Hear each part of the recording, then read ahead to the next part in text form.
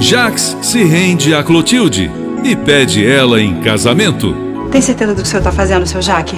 Para com isso de seu Jaque. Me chama de Jaque. Você é a mulher da minha vida. Eu não ia suportar viver sem você. Hoje, mais cedo, às três da tarde. Vale a pena ver de novo Ti Ti Ti.